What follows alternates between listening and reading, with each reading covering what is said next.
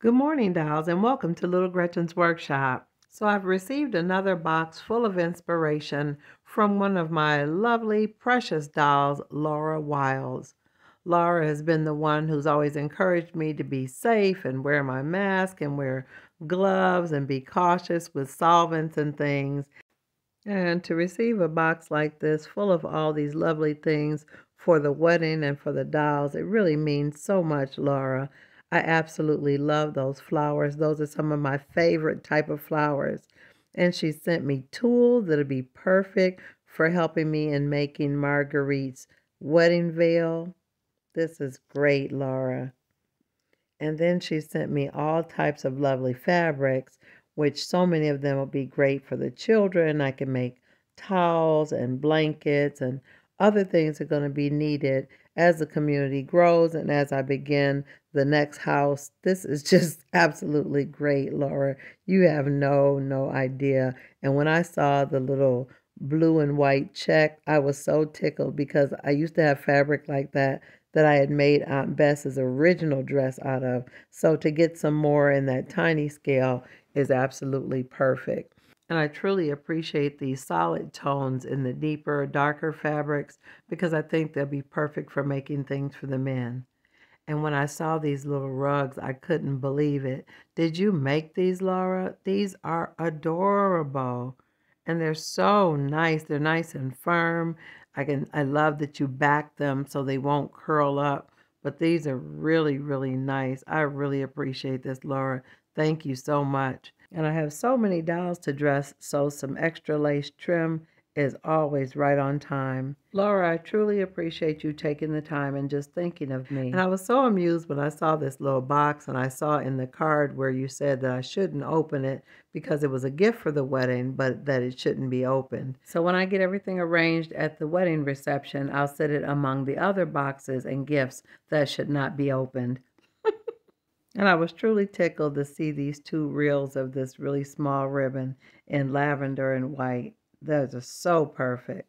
But I truly stopped in my tracks when I saw this black ribbon with the tiny flowers. For some reason, this fabric or ribbon reminds me of the story of the little girl named Heidi. Laura, this box was absolutely wonderful, and I'm so excited because you dolls have been so kind and generous to me, giving me things that I'm going to need to prepare for the wedding things Marguerite will need on her honeymoon. As a matter of fact, let's see what's happening with Marguerite. So Saidi's returning from his trip. He's been gone about five days. He had to pass over a couple towns, mostly on foot to get over to the county to apply for the marriage license. Saidi wanted to be proactive and go ahead and apply for the license so that by the time Marguerite was ready and had made up her mind that the marriage license would already have been issued. When he returned to the rooming house, things were pretty quiet. When he entered the music room, he immediately greeted Miss Edna and Miss Fountain, who were as usual tending to the babies. After he greeted them, he quickly asked them if they had seen Marguerite. When they said no, he immediately dropped his luggage and went to check the next room. When he entered the parlor, he found Aunt Evelyn in there alone, as usual, tending to another baby.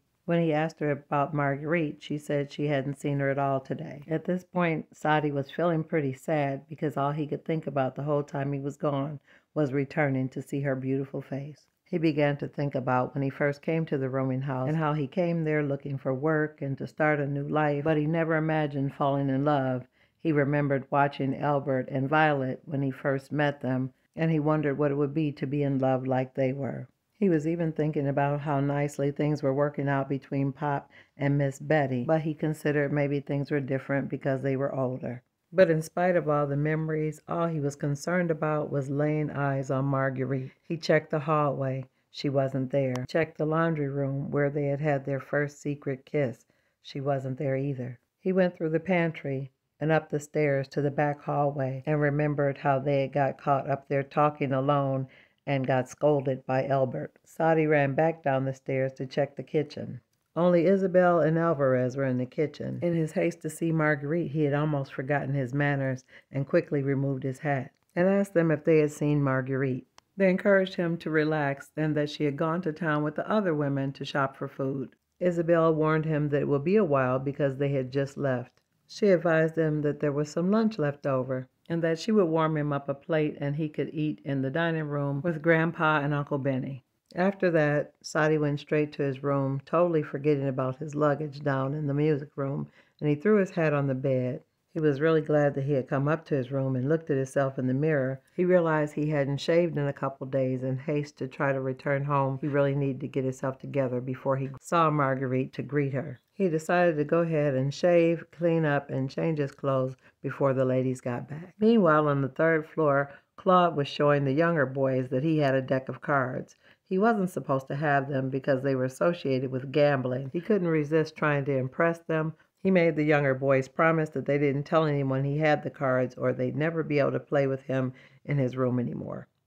Meanwhile, on the second floor in the girls' room, little Tracy was trying to impress the younger girls about her and Harper being asked to assist with the birth of the new babies. The younger girls were very excited to hear about the little babies, but they really didn't understand about the process of babies being born. And although Tracy was talking big, she didn't know either. Meanwhile, up in the room that was slated to be prepared for Saidi and Marguerite, Albert and Uncle Barley were trying to determine who gets which crib. Big Daddy and Sterling were laughing really hard, saying that the way things are going around here, we might need a room for only cribs. But by the time they got through laughing, they had a plan for how to prepare for the new babies.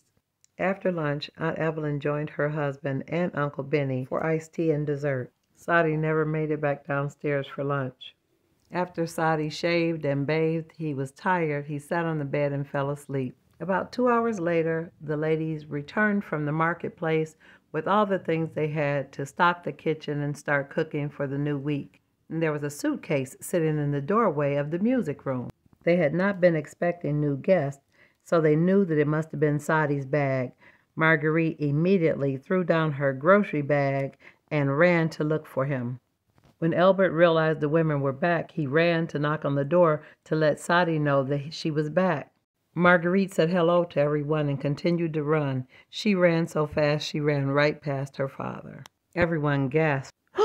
her father insisted that she stop running. It was not customary or ladylike for a woman to run to greet a man. Marguerite kept running. Albert continued to beat on Saidi's door until he woke up. Saidi was like, What's going on? He says she's here. Marguerite is here. Saidi ran out of the room, pushed past Albert, and down the stairs to greet Marguerite. Marva and Sterling were expressing their frustration and disappointment with Marguerite running past her father to greet Saidi. Just then, Miss Maisie said, I've had enough of both of you all, with all your suspicions and traditions and regulations and rules. You've interfered enough. Sometimes love is not traditional. Miss Maisie sent Lillian, Aunt Vera, and Big Ma to go check on the young couple. Lillian quietly peered through the curtain of the laundry room, and Vera and Big Ma went around the back through the kitchen door to watch through the pantry. That worked out well because Big Ma had two baskets of fish that she didn't want to carry through the house. As the unofficial chaperones looked on, Saidi and Marguerite embraced and hugged each other really, really tight Marguerite began to cry, and Saidi began to kiss her tears away. He promised to never leave her again, and if he ever left, he would take her with him. She told him that although she was nervous, she missed him so much and was miserable while he was away. She told him she never wanted to be away from him again. She said, I know now that I love you, and I'm ready to get married. He told her that he loved her too, and he was really glad because he had applied for their license and that it would be there in a doll month.